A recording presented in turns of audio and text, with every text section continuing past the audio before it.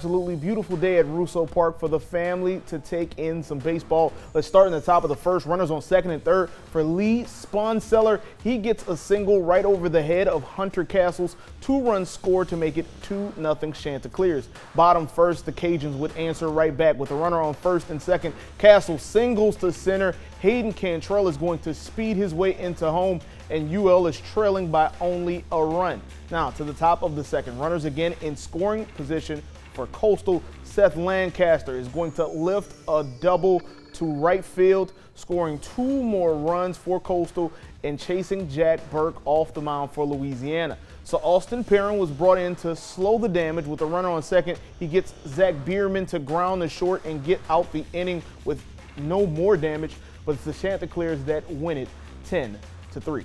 So with the loss and a Little Rock win, the Cajuns fall back into second place in the Sun Belt Western Division by only a half a game with six conference contests left.